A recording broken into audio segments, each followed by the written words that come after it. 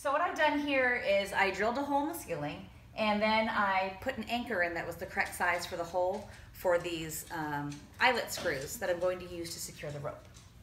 So now that that's done, you just put this in. Put the hammer down so I have both hands.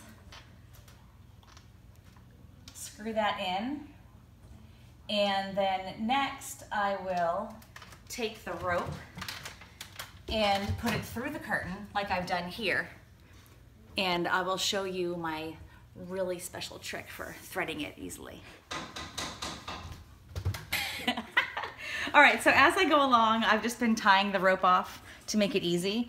And I have a super duper high-tech way of stringing the rope through the curtains. You see this very special tool of mine? It's very special. It's a broken hanger.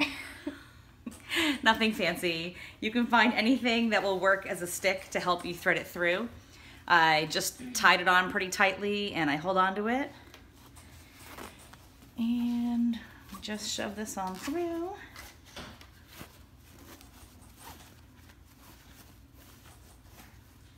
Ta-da, comes out the other side.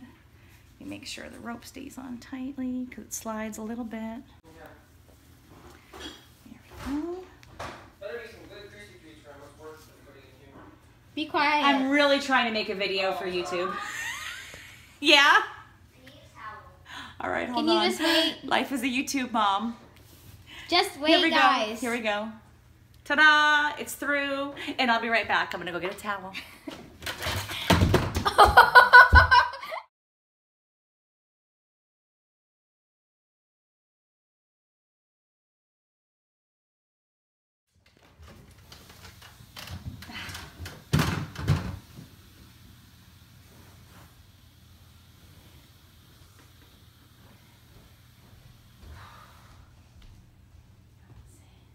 This is how it looks while setting up stuff. Look at all that. Giant mess. Okay, ready? Are you Go. zoomed in on my face? Go. No, it was the light. It's like, Oh, The window. I don't have anything to say except that, um, okay, so now it's done and you can see it's all just on a rope system. I'm gonna pull it nice and tight. I did put an extra eyelet in the middle here because it was a long stretch and it was too saggy without it. Plus it gives it a little bit more um, strength for holding the weight if kids yank on it or something. And so now I just need to clear out this corner so I can get close enough to tie a knot.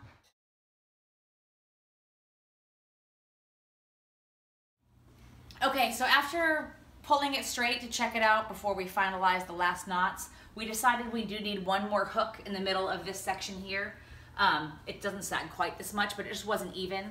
So I'm gonna put one more in, undo it from this side, and then we'll finish it up.